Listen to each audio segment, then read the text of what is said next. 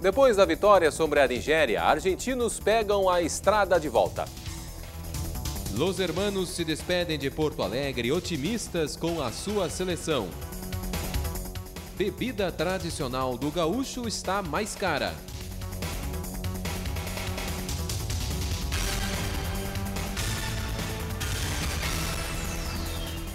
Boa tarde.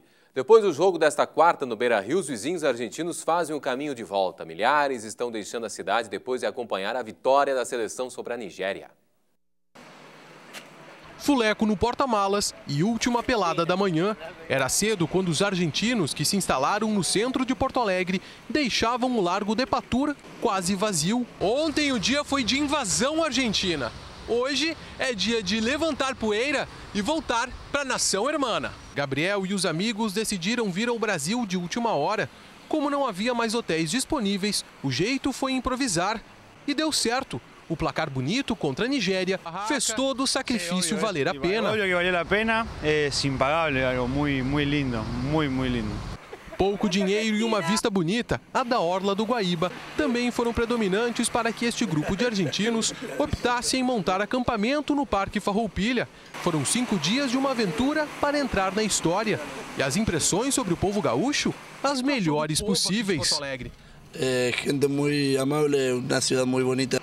Presença garantida também na rodoviária de Porto Alegre, os hermanos deixaram na capital dos gaúchos a sua marca, a da alegria de uma vitória que embalou as cordas do violão.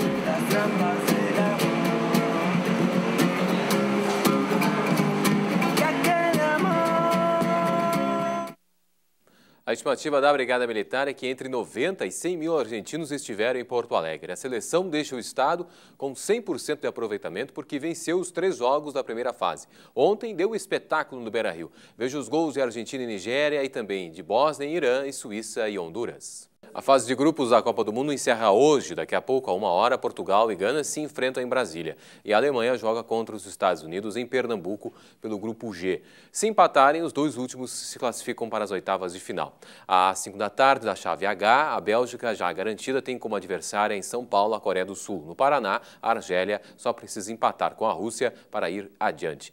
As quatro partidas definem o confronto que se realizará em Porto Alegre na segunda-feira. Veja a seguir, Feira da Agricultura Familiar atinge 100 mil reais em vendas e também... Vaca gaúcha tem que ser artesanal.